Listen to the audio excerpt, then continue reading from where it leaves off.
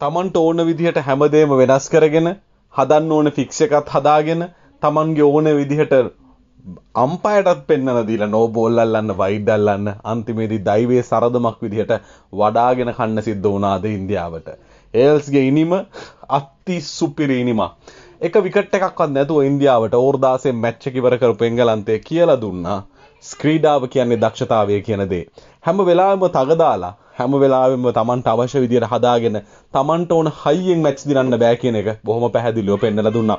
ඉන්දියාව සම්බන්ධ ක්‍රියාවලිය ගත්තහම බංග්ලාදේශ මැච් එකේ බොහොම පැහැදිලි ප්‍රශ්න තිබුණා. පාකිස්තාන් මැච් එකේ බොහොම පැහැදිලි ප්‍රශ්න තිබුණා.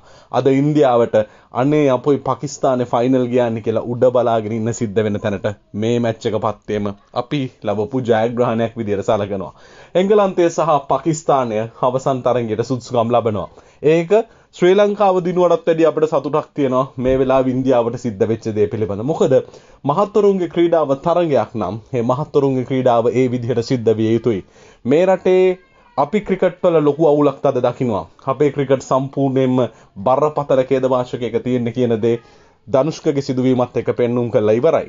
හැබැයි අපේ ක්‍රිකට් හැදෙනවා වගේම තමයි සමස්ත ක්‍රිකට් පද්ධතියම ඉන්දියානු මැදිහත් වීම කියන දේ අතිශය අසාධාරණ දැනකට මේ ක්‍රිකට් ක්‍රීඩාව තල්ලු කරන තැනට පත් වෙලා තියෙනවා. ඒ නිසා අද මේ එංගලන්තේ ලබාගත්තු ජයග්‍රහණය කියන්නේ කොච්චර ගේම් ගහලා ආවත් කොච්චර Tamanට ඕන ඕන විදියට හැමදේම හසුරුවා ගත්තත් දක්ෂතාවයේ සියල්ල ඉහළින් තියෙන කියන දේ මනාව පෙන්නපු තරගයක්.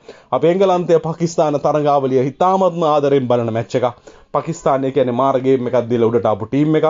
සිම්බාබ්වෙට පරදිනකොට ඔවුන්ට තිබුණු බරපතල කඩාවැටීම අප දැක්කා. ඒ සියලු දේ ඉදිරියේ ඔවුන් ටීම් එකක් විදියට ඉස්සරහට ආවා.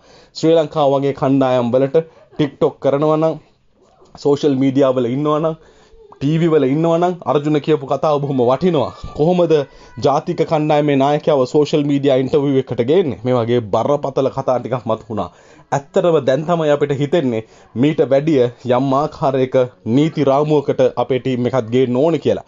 ඉතින් එංගලන්තය ලැබූ ජයග්‍රහණය ශ්‍රී ලංකාව දිනුවා වගේ සතුටක් ඉන්දියාව එළියට ගියපු එකෙන්